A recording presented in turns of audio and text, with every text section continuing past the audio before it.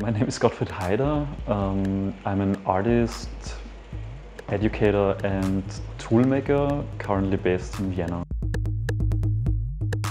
Our participants went into really different directions um, in the work that we produced. Um, there was, for example, one group that um, was interested in the ecological um, aspect of computation and the power that we draw as a group. Um, so they used data gathered from the solar trailer outside that was powering um, our devices throughout the workshop and created an alternative sort of like bodily uh, visualization using kind of like the decapitated head of an ice bear that is kind of tearing up um, in correlation with the amount of power that is, has been drawn.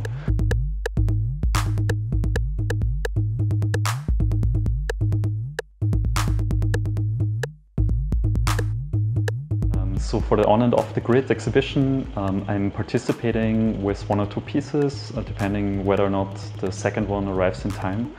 Um, but the other piece that you're seeing behind me um, are um, window blinds that will be um, distributed through space um, and which try to do some sort of a computational work by opening and closing and all triggered by light.